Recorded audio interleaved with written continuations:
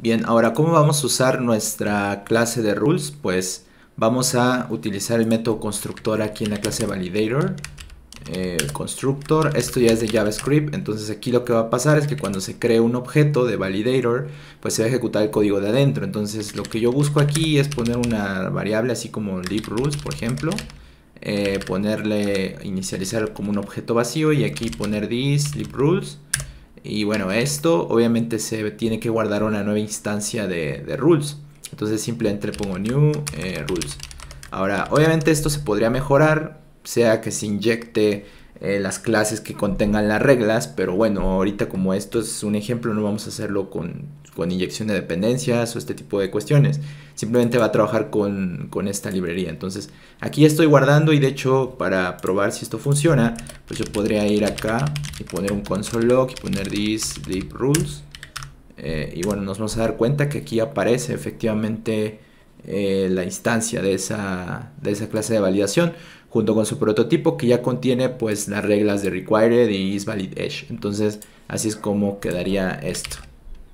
Bien, pues ahora puede darse el caso de que el programador mete una regla que no existe. Por ejemplo, si yo meto aquí como ball, por ejemplo, obviamente esto no, no tendría una función asignada aquí. Entonces, para poder comprobar eso y mandar un error, por si se llegan a equivocar en meter una regla que no es, pues vamos a hacer una comparación aquí adentro. Vamos a decirle que si eh, vamos a, utilizar typeof y decir que si en este caso vamos a hacer referencia a nuestro clase de reglas para ejecutar un método, tratar de, verlo, si existe o no, vamos a poner corchetes y vamos a pasar eh, la llave, ¿no? Que en este caso ya vendría aquí con match. Entonces pasamos la llave, esto obviamente debería de regresarnos un, eh, una función. De hecho, si yo hago un console log aquí de esto, voy a comentar el if, eh, te das cuenta que nos regresa eh, function. Y si te das cuenta, regresa function, function. Bueno, aquí voy a comentar esto para que no nos mande todo.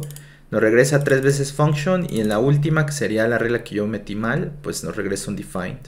Entonces, esto funciona bien. Si yo pongo aquí que solamente, o sea, si esto no es igual a function, puede ser algo así pues que desencadene una excepción, que esto obviamente va a parar la ejecución del programa. Entonces yo puedo mandar simplemente un mensaje así como concatenando el nombre de la regla que no encontró. No es una regla, vamos a ponerle así. Y listo, si yo eh, ejecuto, pues aquí ya nos marca el error, ¿no? Que esto no es una regla. Bien, pues vamos a borrar aquí lo que no necesitamos. Por ejemplo, vamos a hacer ya que ejecute correctamente el validador. Borramos estos comentarios para dejar todo, todo más limpio. Y bueno, vamos a ahora sí a la parte importante del validador, que es ejecutar las funciones. Yo puedo hacer un ejemplo aquí.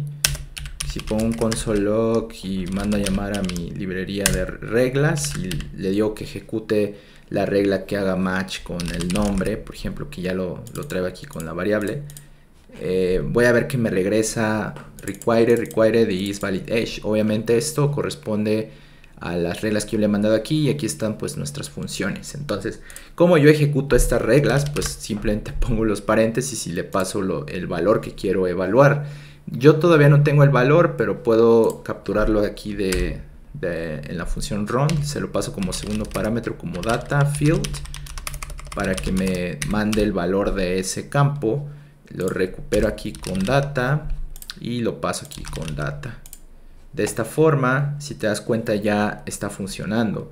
Ahora nos manda false false porque esto pues no, no coincide. Si yo meto aquí alguna cosa, ya debería de regresar true porque ya name está bien y edge. Eh, si yo meto cualquier cosa, te das cuenta que simplemente el de required, esta regla pues la va a validar como correcta porque ya tiene algo pero isValidEdge, que es otra de ellas, pues lo manda como falso.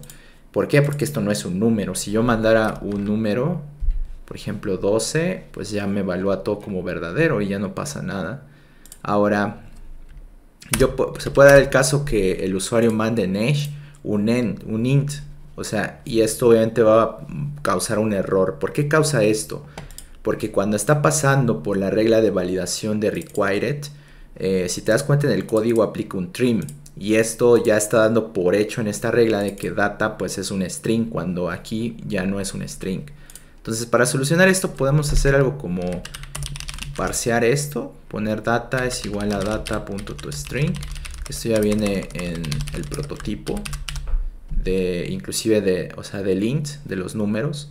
Entonces esto va a parsearlo en int y obviamente ya va a poder aplicar trim. Entonces si te das cuenta ya desaparece el error y ahora sí eh, todas las reglas son correctas según con este formato que hemos puesto.